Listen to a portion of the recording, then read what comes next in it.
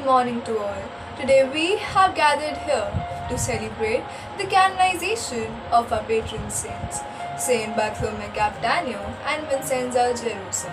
On this auspicious day, I would request our principal, Reverend Sister Malika, to lead us into prayer by saying a few words. Let us join our hands and close our eyes. Feel the presence of God within us and around us. Let us take few deep breaths. We are breathing. We are alive. That is the greatest gift God has given us. Gracious and loving God, every breath that we take tells us of your unconditional love. Thank you for this gift of life. Thank you for your care and protection during this pandemic. In the midst of struggles, you are telling us to have faith and trust in you. We believe, Lord, you have a plan for our good which we are unable to comprehend. Help us to keep alive our faith. Lord, bless our dear ones with good health and happiness. Bless the sick with your soothing, healing touch. Comfort and console those who mourn the loss of their dear ones. Thank you, Lord, for the gift of Saint Bartholomew Capitanio and Vincenza Gerosa, whose feast we celebrate today. They are our guide and leader. They responded to your call and dedicated their entire life to serve the most needy of their time. Grant us strength to follow their footsteps in the service of our brothers and sisters. May they ceaselessly intercede for those who follow in their footsteps to continue courageously to keep alive the loving service to humanity. Bless us and be with us, Lord. We ask this for your love's sake. Amen. The Institute of the Sisters of Charity of Saints Bartholomew Capitanio and Vincenza Gerosa, also known as the Sisters of Maria Bambina, had its origins in a house which the people called Conventino in Lovere, Italy. It was founded by a young woman of 26 named Bartolomea Capitanio in 1832. Bartolomea was helped in her project by Catherine Gerosa, a simple and wealthy lady of Lovere who later took the name of Sister Vincenza. They are familiarly called the Sisters of Maria Bambina because of the special privileges and blessings received from the Holy Child Mary from the year 1842. Bartolomea and Vincenza were both canonized by Pope Pius XII on 18th May in the year 1950.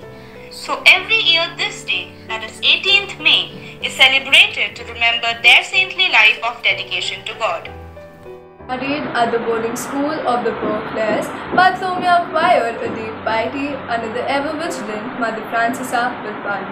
I want to be a saint, a great saint, and a saint soon, were the words she uttered at the age of seven at the game of straws.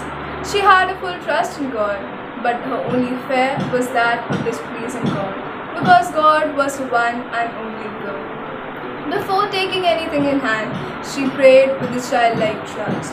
From God alone, she asked for good hope for her institute. Of means dawned her, because she said the undertaking is His. God will provide. Her spiritual director, Don Angelo Bosio, sensed the working of the Spirit in her and guided her in her spiritual journey. He urged her to note down all the inspirations she received. This resulted in the inspired document we now call the foundation document, which forms the basis of our present rule of life. She wrote, The institution which will be founded in Lovere is to be totally founded on charity, and this must be its principal aim. Should have as its aim the education of poor young girls and devote itself to the relief of the sick. In this way, she outlined a mission which, though starting as a personal response to the needs of her environment, was deeply rooted in charity and as such destined to be kept up and to spread beyond the bounds of Lovere.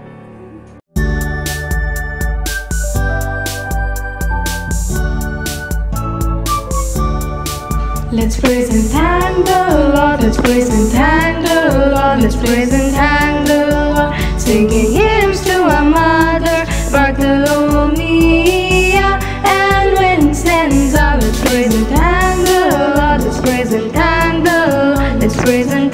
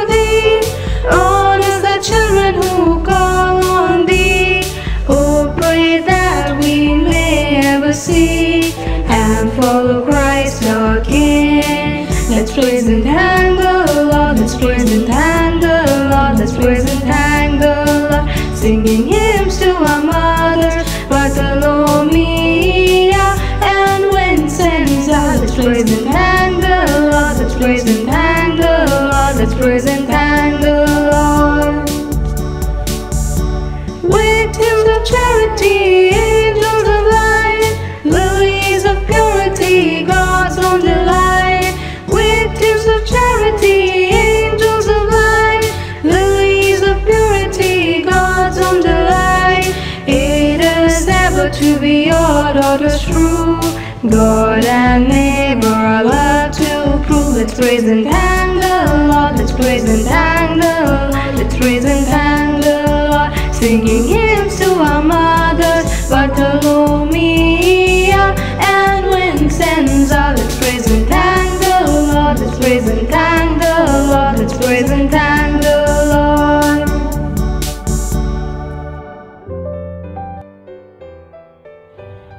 Saint Vincenza Gerosa's holiness of life sought in various ways to show that in her.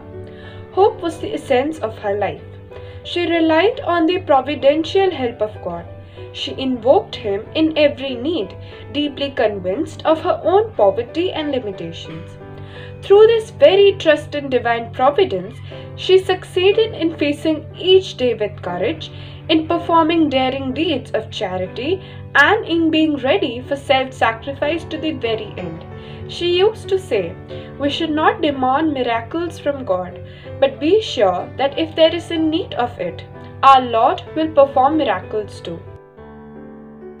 Saint Vincenza inspired others with deep trust in God's goodness, and she herself was intimately so convinced of it that one could see it in her manner when she said, Let us have it to God. But she never neglected to do whatever she could, as if to say, On our part, we should do our utmost, but everything comes from God. She used to say, I can't do anything, but with God's help, everything will be done. In moments of adversities, she would continually pay short visits to the chapel. In undertaking new works and keeping them up, she would seek advice and pray much and then say, Let us go ahead and our Lord will help us. On the morning of 21st November 1832, their most devout young woman, Caterina Gerosa and Bartolomea Capitanio, made the offering of themselves and of their possessions to God, and consecrated themselves entirely to the works of charity in the service of the poor, in the manner that was pleasing to God. These two people alone, by love and sentiment, bound more closely together than the family ties, started the Holy Institute of the Sisters of Charity.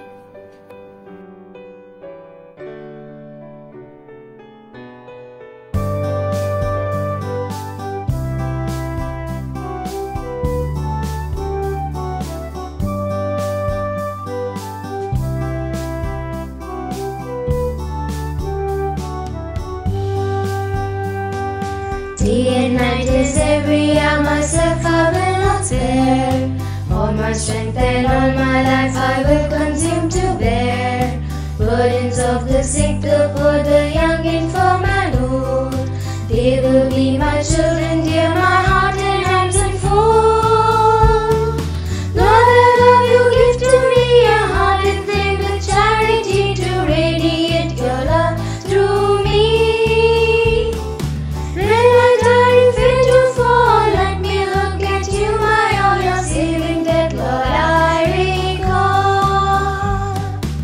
silent solo, Lord, I give in service to the you.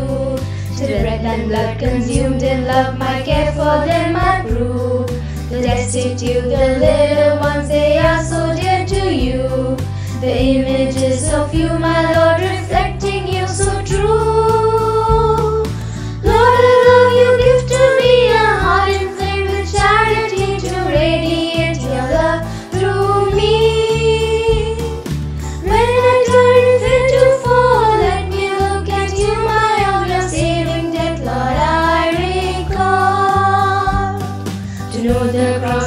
is indeed, its treasure beyond price. Who knows it not to learn is a fool in disguise. Blending prayer with charity, your wish and will for me. In your grace, O Lord, to live my heart so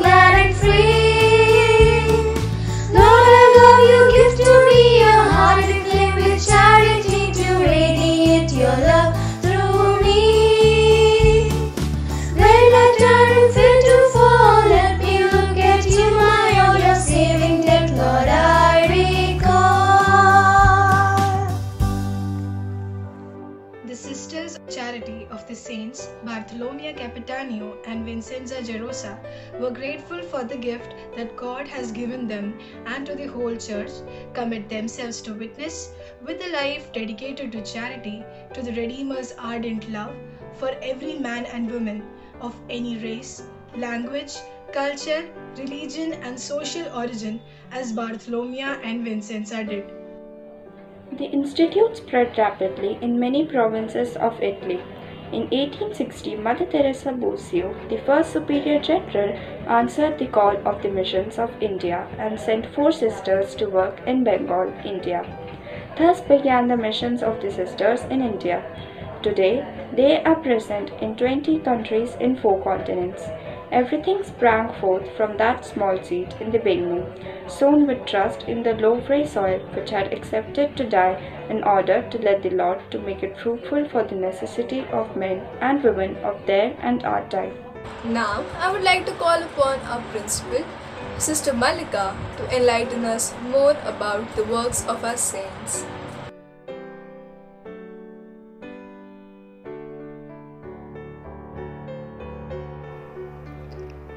Good morning, respected teachers and my dear students. Today we are celebrating the feast day of Saints Bartholomew Capitanio and Vincenza Gerosa. On 15th May 1950, they were declared as saints.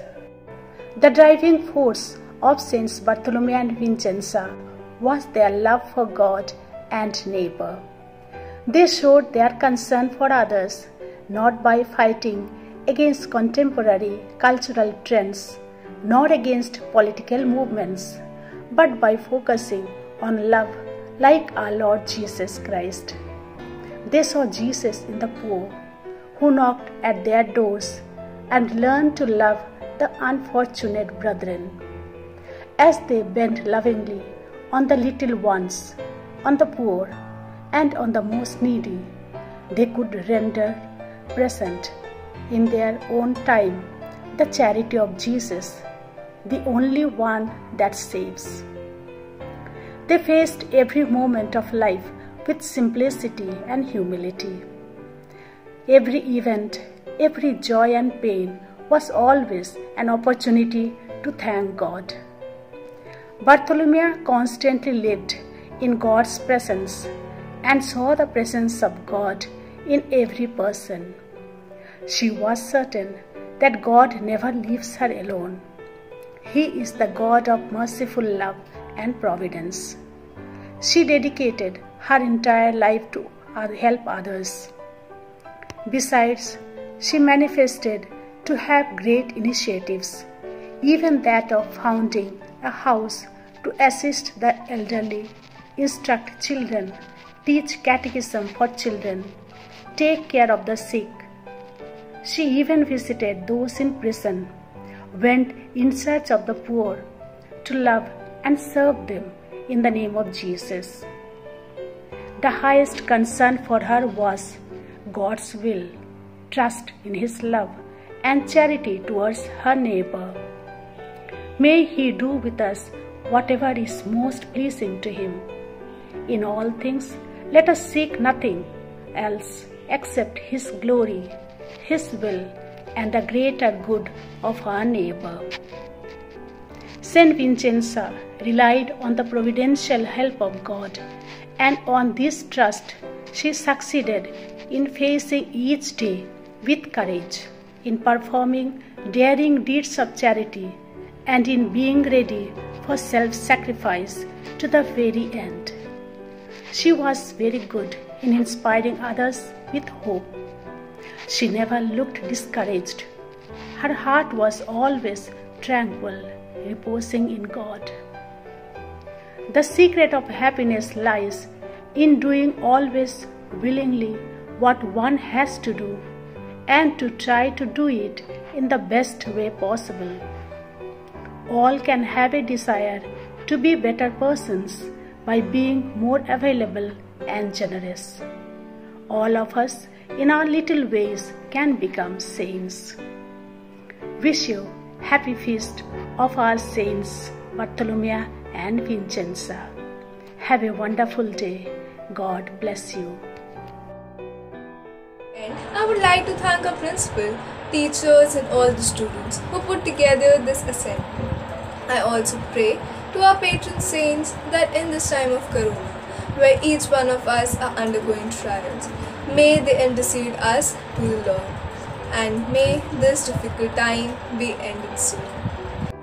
I pray that the Lord will keep us, each one of us, safe and sound.